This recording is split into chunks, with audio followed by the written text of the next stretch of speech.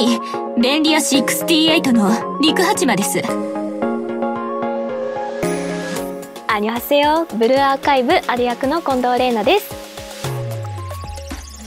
ブルーアーカイブのグローバルリリースというとても嬉しいニュースとともにご挨拶することになりました。ブルーアーカイブがより広い世界の方たちに愛されることになると思うと、えー、私もねあるを演じさせていただいている身としてとても嬉しく思います。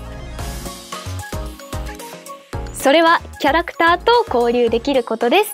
騎手役のキャラクターアロナが自分の名前を直接呼んでくれるので一層親しみを感じました。それとトークアプリモモトークで生徒とお話ししながら実際に会っているような気がしました。生徒それぞれに違った話題でお話ができるので好きな生徒について知りたい時はモモトークを通じてもっと親しくなれるかと思います。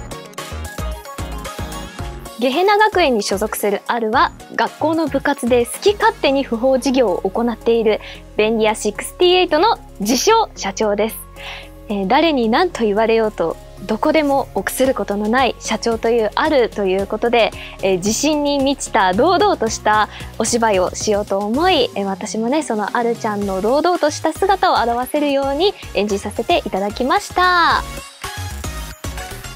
あるは外見だけ見ると冷たそうでいろいろ悪さをする悪党に見えるのですが実は見えっ張りで好きだらけのギャップがとっても魅力的な女の子となっています。自称社長ということもあって経営の勉強が趣味なのもあるの可愛いところですよ。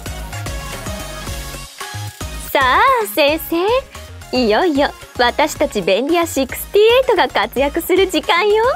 先生と一緒に仕事するの。結構期待してるんだからね。便利屋の事務所で連絡待ってるわね。先生。はい。ということで改めてブルーアーカイブをどうぞよろしくお願いいたします。以上ある役の近藤玲奈でした。